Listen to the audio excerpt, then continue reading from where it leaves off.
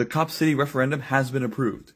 After two weeks of stalling from the city where they rejected the petition for minor infractions that they could have fixed themselves, they have finally approved the petition as of Wednesday, June 21st. Of course, it was approved only hours after they were sued over the delays. So now the timer has started and there's only 60 days to get over 70,000 signatures in the city of Atlanta, meaning it will probably end around August 20th or August 19th. As a reminder, you must be registered to vote and currently living in the city of Atlanta, and you had to have been registered to vote in the 2021 mayoral elections in order to sign a petition.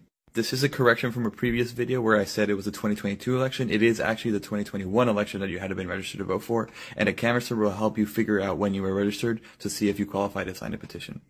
Also, it's important to note that you have to have someone witness you sign a petition who is also a City of Atlanta resident. They don't have to be registered to vote, but they do have to reside in the city. But don't let this discourage you if you are not a City of Atlanta resident. You can still help out by partnering up with a City of Atlanta resident to collect signatures and also by donating money. All info on how to get involved is on the copcityvote.com website, link in the bio. You can have canvassing events to sign up for, a link to donate, and information on how you can sign a petition yourself, including permanent locations where you can go and sign. So the clock is ticking. 60 days goes a lot faster than you think, so make sure to get involved as soon as you can. Go to copcityvote.com to get involved.